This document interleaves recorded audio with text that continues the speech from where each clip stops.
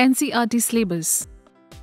Maths, Class 2, Chapter 10. Add our points. Toss the ball. Animals of the forest are playing turn by turn.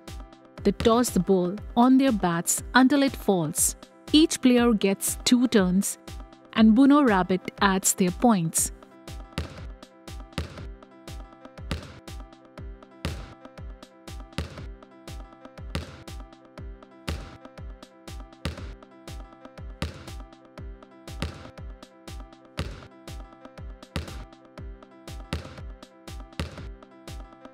You toss the ball 14 times.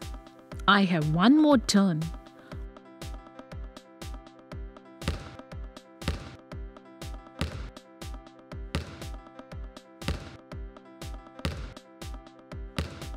Only 7 tosses this time. Two at a time. Chintu and Mintu went shopping. They bought some things. To pay, they used notes and coins, but only two at a time. 10 rupee note, 50 rupee note, 1 rupee coin, 5 rupee coin, 2 rupee coin. Out of these, which two can they use to buy the things below? They can use the same note or coin more than one time. So let's do it. So rupees 20 bat. Rupees 10. One more rupees 10 makes rupees 20. So book will come in rupees 10. 5 rupee coin plus 5 rupee coin makes rupees 10. Ball will come in rupees 40.